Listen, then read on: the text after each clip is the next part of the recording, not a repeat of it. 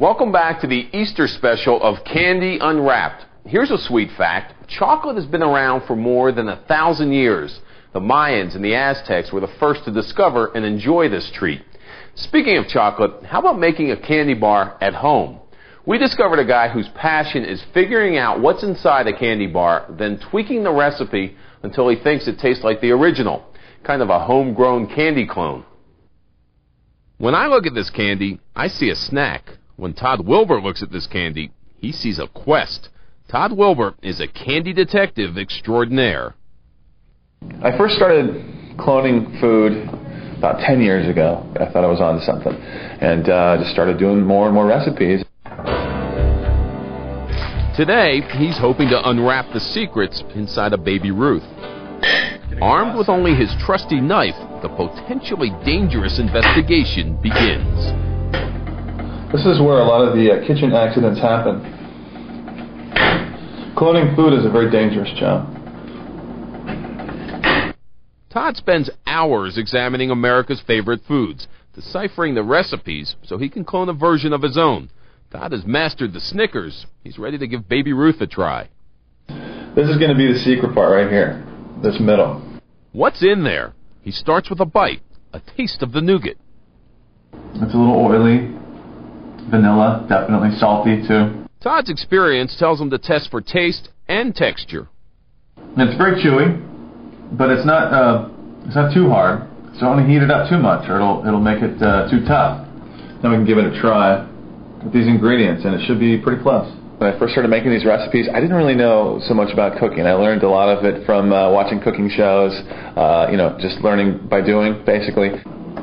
Todd's years of training have taught him to keep his pantry fully stocked. Vanilla, corn syrup, and Time to clone a Baby Ruth. We're gonna crank it up. First, five caramels. Important part of this recipe is to be sure that the caramels are unwrapped. Don't put them in wrapped, it just ruins the taste. Joining the caramels is the perfect combination of milk, corn syrup, salt, butter, and the all important vanilla. Quarter teaspoon. Then melt it to ooey gooey perfection. It's About 10 minutes. This will be uh, nice and bubbly.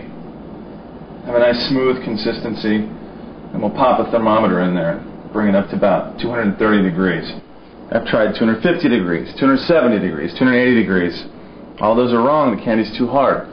It took a long time to figure out to bring it to kind of a lower temperature, 230 degrees, before it's just right. So we do jumping jacks while we wait. This is how we, you know, prevent from getting fat while we eat candy. That right there is the inside of a baby Ruth. But Todd well knows the inside should be light and fluffy. Get out the mixer. It's time to beat it up. Don't try this at home. You might want to get some uh, safety goggles for this. Clear off your workspace. Todd's ready for some log rolling. And there we go. We'll just let them sit for a couple of hours until they're cool. Then we'll be ready to put the peanuts and caramel on them. Peanuts, anyone? Now we just take some of the caramel using a brush and just kind of coat it over the middle. Burning your fingers is all part of the fun. This is the center of a cloned baby Ruth. There we go. The centers are ready for a break. Two hours in the refrigerator. Then it's chocolate time. Todd's chocolate of choice, your standard milk chocolate chips. We'll melt these in the microwave. He's preparing for the final step. Todd believes there is a secret to the chocolate, Perfect. his special dipping technique. This two fork method that I'd like to think I invented. You know, tap, tap, tap, tap, tap. There it is. Baby Ruth clone. Not as pretty as the original, but a taste tester swears it tastes just as good.